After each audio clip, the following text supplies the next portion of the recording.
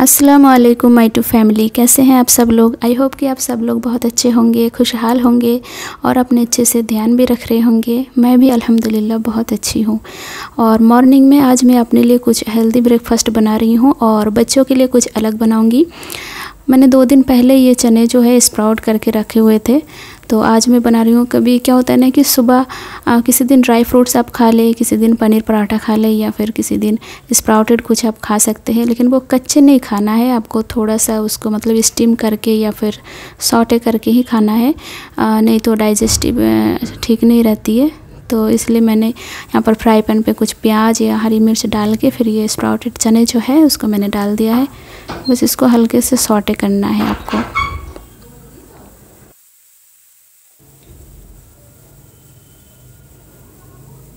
हल्का सा मैंने नमक डाला है इसमें और काली मिर्च का जो पाउडर है वो मैं डालूँगी और थोड़ा सा टमाटर ताकि इसका टेस्ट जो है थोड़ा खट्टापन आ जाए तो खाने में अच्छा लगेगा।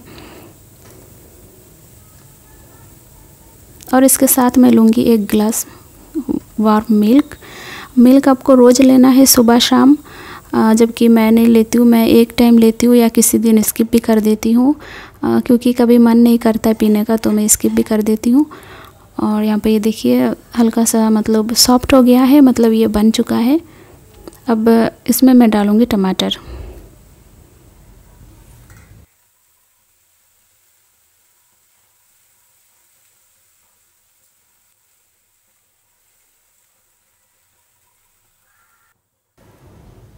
काली मिर्च का पाउडर। बस ये हमारा ब्रेकफास्ट जो है बन गया। अब मैं बना रही हूँ, मैं अपनी बेटी के लिए बना रही हूँ पराठे, जो कि वो लोग चाय से खा लेंगे पराठे। उधर मैंने चाय बनाने को रख दी है। तो साथ ही साथ हम तीनों नाश्ता कर लेंगे अभी। उसके पापा घर पर नहीं है, बाहर है। तो हम तीनों सुबह के नाश्ता कर लेंगे।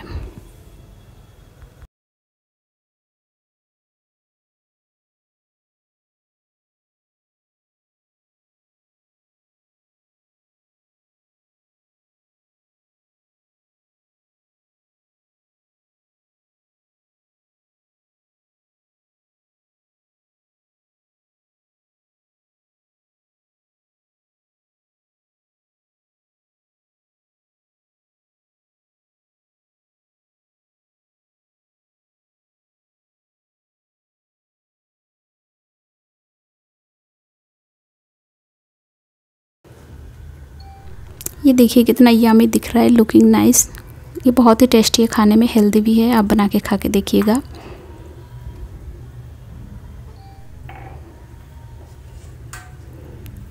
अब आगे को प्रेगनेंसी वाला ये व्लॉग जो है एक दो आने वाला है फिर तो मेरा डिलीवरी डेट आ रहा है तो नेक्स्ट व्लॉग में मैं मेरा बेबी आ जाएगा तो मतलब वो व्लॉग आपको देखने को मिलेगा। आ, मैं कोशिश करूँगी मैं हॉस्पिटल जब जाऊँगी तो वीडियो बनाने की कोशिश करूँगी, अगर अलाउ होगा तो कैमरा ऑन करके मतलब वीडियो बन सकता है, अगर अलाउ नहीं होगा तो फिर फिर भी मैं कोशिश करूँगी। मेरा डिलीवरी व्लॉग जो है वो आपको शेयर आपके साथ शेयर करने की पूरी कोशिश करूँगी, जितना हो सके। तो यहाँ पर जो है मैं, मेरी बेटी को पराठे और चाय दे रही हूँ और ये मेरा नाश्ता है।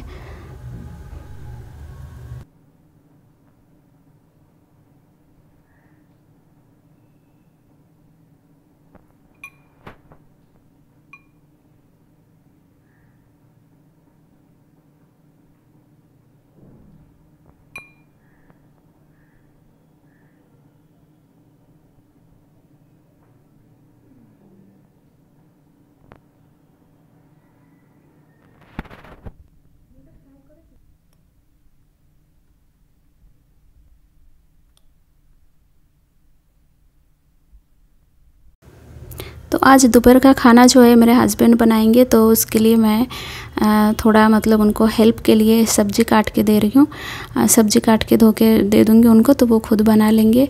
क्योंकि मुझे खड़े होकर खाना बनाना थोड़ा इस टाइम मतलब प्रॉब्लम हो रही है, इसलिए वो हमको मदद करते हैं।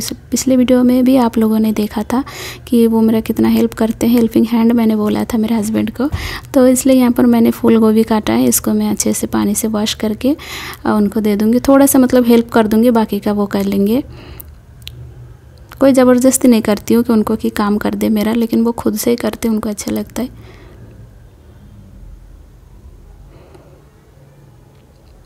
कई बार क्या होता है ड्यूरिंग प्रेगनेंसी आपको मतलब लास्ट मंथ जब चल रहा होता है, आपको ज़्यादा देर तक खड़े होकर काम करना मुश्किल हो जाता है। तो इसलिए अगर कोई हेल्प करने वाला मिल जाए तो क्या बात है। तो यहाँ पर देखिए, तेल में मैंने गोभी को डाला है, हल्का सा रोस्ट कर लेना है, बस इतना ही काम मैंने किया है, और बाकी का बहुत सारे करे हैं। और यहाँ पर ये सब्ज़ी खुद उन्होंने मतलब बनाई है इसमें मछली डाल के।